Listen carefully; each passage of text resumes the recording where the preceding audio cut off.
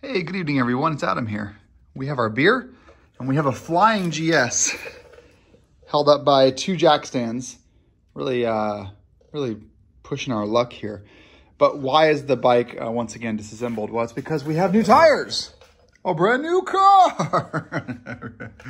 All right, so uh, let's get this. Um, this um, this is my recording setup, by the way. Let's get this set up for you. Okay, so uh, if you buy a new GS, you get you get all kinds of different tires. They they you know for a while it was like the Anakee, and then the Anakee Adventure came out, and that's that's my favorite uh, GS tires, the Anakee Adventure for like every everything. I've taken the Anakee Adventure. I, I one day I've been on the Northeast BDR with Anakee Adventure. It wasn't it was a very dry day. It wasn't a wet day. Uh, it was late summer, so you know sandy versus muddy, and then the next morning, I woke up and went to a track day on the exact same tires. And then I rode those tires another three or 4,000 miles. Just the Anakee Adventure, my favorite tire. I love them. Um, but if you buy a GS, you know all kinds of stuff. Unless you order it with the off-road wheels, um, you get some weird stuff. But, you know, remember the fact that 90% of GSs never leave pavement. Uh, this is kind of becoming a, one I'm seeing a lot in the 2024 models. This is the one that my bike came in. It's the Bridge Bridgestone uh, what the hell is it called? Uh, Battlax Adventure 41F, is that right? Um, no, I don't know what this thing is. Oh yeah, 41R. R. So this is what you're gonna get if you get a GS. Some GSs will come with these. You can see the treads there. Uh, it's called an adventure tire. It's it's not. I mean, yeah, you got these sipes are a little bit wider, a little bit deeper. But this is a this is a street tire. Um, you know, there's no there's no debating this. It's a street tire, and so uh, I'm keeping these. Like when I do want if I if I do an iron butt this summer and want to do you know a thousand miles in 24 hours, this is a great tire for that. Um, I, I actually having not been on street tires in a while, I was actually kind of amazed at how grippy they are. um, okay, so the other tire that I just wanted to show you guys before I get to the Motoz uh, Tractionator GPS is this here. Everyone knows this one. This is a TKC 80. Uh, TKC 80, you know, these are, um, this is a front.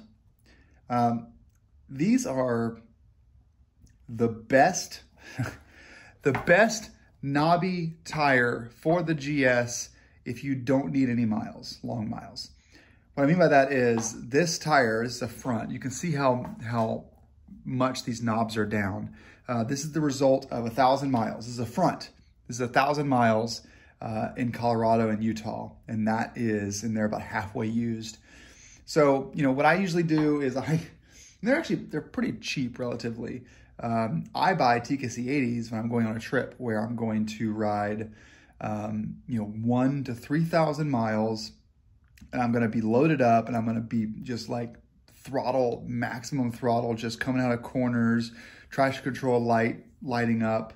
Uh, just have a wonderful, terrific time. It's almost at the part of like you factor in gas and hotels and food into your trip. I just factor in a set of TKC 80s for trips like that. Um, you know, we're trailering the bike to the place. And then we get there, we're gonna be on dirt the entire time. This is the tire for that. I love the TKC 80. So, um, but longevity is not a thing, okay? So super, super grippy. Uh, I've leaned, I've been leaned all the way over on those and not crashed. And um, yeah, this is the tire, this is the Motoz Tractionator Rallz, R-A-L-L-Z. And um, you can see, you can see, wow, maybe I need to get rid of these tires. I didn't realize that. Uh, these are the tires actually that I run on my um, um, Husky 701 um, LR. They are um, long lasting. They are very competent on the street. If you're in the rain, you're not going to want to lean over on them at all. They're super stiff. And they have the problem that a lot of these early ones had where um, you can see here, this is just, this is just cracking away here. Um, you know, like that. Can you see that? Yeah, just cracking away. Uh, let's see how many of these are cracked. That's one, two, um, there's a chip out of there. Some of these knobs are just kind of chipped, but um, the reason I kept this rear, and I have a front as well there, uh, is because I plan on, yeah, there's only a couple there that are, that are, that are broken. And this is the rotational direction here. Um, I, and you, get, you can reverse them. These are reversible. Um, the reason why I kept this one, this set, is because um, it's got plenty of life left in it. Those knobs are fine to chip off a little bit. I'm not going to worry about it. It's not cracked on the actual where the radial is. So the Rallz is the most aggressive, like 90% off-road tire from Motoz that comes in the GS tire sizes. Uh, this is the tire that I used for um, the uh, GS Trophy qualifier I've used this tire for anytime I'm going to be off road. I keep I keep a set of them and I throw them all when I'm going to be off road. So you know BDRs, long weekends in the woods, going up to Canada, off road, not on road. This is the tire I throw it on when I'm, when I'm driving to my destination. Um, so TKC 80 is the one where you're trailering in. This is the one you're driving to. Not good in the rain. Very very stiff. No no gum at all to these knobs. But uh, if you're on a six seven hundred pound adventure bike and you just need to get there and you don't need your knobby to be eaten up when you arrive. This is a good tire. Um, be easy on the throttle because you're gonna have the knob problem that I have where things are chipping away. Easy on the throttle, it will spin. They're not as grippy as TKC 80s and you can just, you can, I mean, they're just, they're not as grippy as TKC 80s, but long lasting tire. Um, I love these things. They're really expensive by the way, but they last, um, you know, you'll get 5,000 miles out of the rear instead of 2000 like you will in the TKC 80. All right, so, so out of the way. We're only six minutes in, it's pretty good. So what, do, what are we doing over here? What's the, what's up with the Tractionator GPSs? Well, um, I reached out to Motoz and I said, I love your tires. They're the longest lasting knobbies that I've had. I've ran all of your tires except for the GPSs. Um, I just want a tire that I can um, uh, run for many thousands of miles, but that will also give me some some grip in the you know northwest BDR kind of riding. And those guys, the the the importer, these are New Zealand based, but the importer is out of California. Uh, he said, "Don't get the Rallz, get the GPS." Uh, the GPS is their longest lasting knobby, longest lasting tire in general, because all they make is knobbies. But longest lasting tire they make and um, yeah, recommend it to me. I'm gonna show you why it's long, most longest lasting knobby they make. I wanna show you one cool thing that I figured out though. Uh, and these are, these are made in Europe, which is interesting. I thought they were made in New Zealand. But um, uh, I like on the side here, and if you can see this or not, let's get a little closer right there. Um, I'll zoom in.